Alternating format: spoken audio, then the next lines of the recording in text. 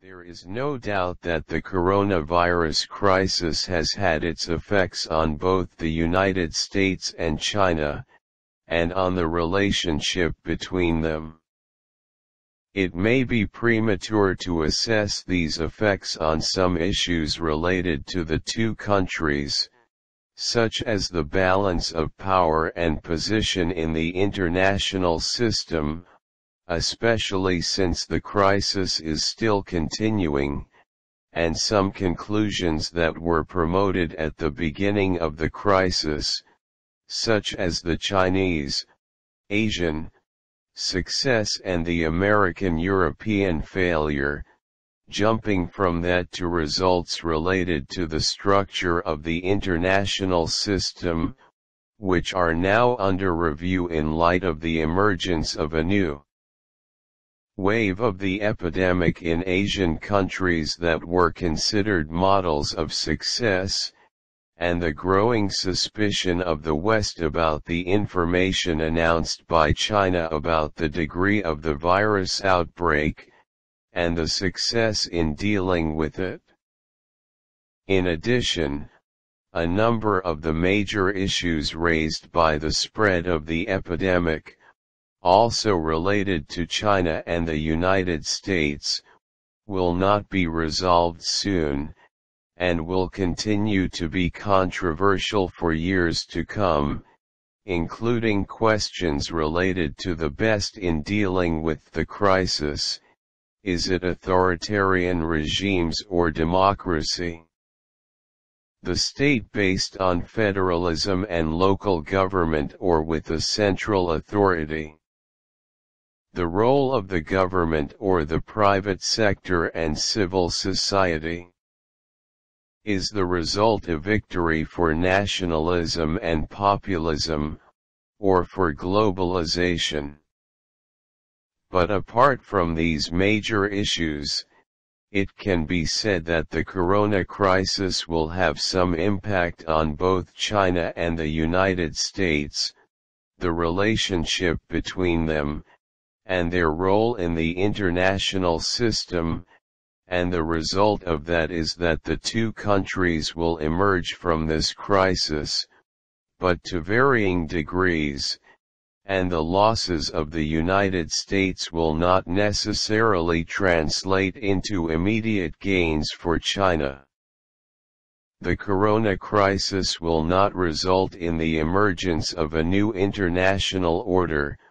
but it will certainly lead to an acceleration of steps in the direction that the system was heading in before the crisis, which is an international system without poles. The United States is retreating from the leadership role it used to play since after World War II, and has leaned more on itself during the corona crisis, and did not provide an international model for dealing with the crisis, and it contributed modest aid to other countries, and Trump stressed the need for more barriers to enter goods and humans for his country. On the other hand, although China presented itself as a model for the successful management of the crisis, and achieved some symbolic gains as a result of activating its soft power and providing medical aid to many countries of the world. This does not mean that it is able to fill the void of American retreat and lead a new international order. It lacks many capabilities,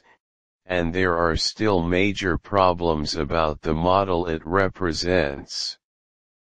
it is more likely that the world will continue to march towards non-polarity, and the consolidation of regional regimes in which the influence of the middle powers increases, and not a new international order based on American or Chinese polarity, or a bilateralism that brings them together. On the other hand, the corona crisis has widened the gap of mistrust between the United States and China, and China is expected to become a major issue in the upcoming U.S. presidential election campaign. President Trump criticized his Democratic rival, Joe Biden, stating that he adopts a weak stance towards China, and that he opposed travel bans from them, and is not seen as a threat to the U.S. economy. However, the biggest issue that the Trump administration began to raise is that related to the extent of China's responsibility for the emergence and spread of the coronavirus in the world, and it is expected that the Chinese lifestyle will be held accountable, and the call to change it, because its impact has exceeded the Chinese interior and extended to other societies, and affected their lifestyle, which is ideas similar to those that emerged in the aftermath of the attacks of September 11, 2001,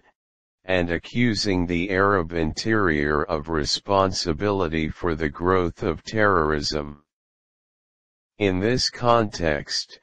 shedding light on the Chinese interior will increase tension with the West,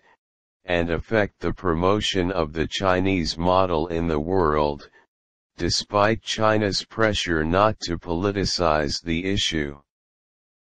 The corona crisis will also affect the economic resources available to both the United States and China to achieve their external goals,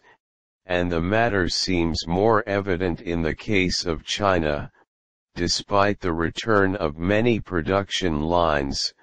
the global demand for their products has decreased dramatically as a result of the closure. Also, a number of large companies in the United States and Western countries have begun to shift away from Chinese supply lines that were cut off during the crisis, and dependence on supplies from other countries, in addition to mounting pressures to use resources locally, not abroad, and all of this will affect the ability of China is financing its foreign policy goals. In short, the repercussions of the spread of corona are not expected to lead to a structural change in the international system, or the balance of power between China and the United States, and it will not be governed by the logic of the zero match, meaning that the losses of one of the two countries will necessarily translate into gains for the other, but there is still an opportunity to turn into a match a positive outcome from which both parties and the world would benefit, if the leaderships of the two countries realized the importance of cooperation between them to get out of this crisis. There is no doubt that the coronavirus crisis has had its effects on both the United States and China, and on the relationship between them. It may be premature to assess these effects on some issues related to the two countries, such as the balance of power and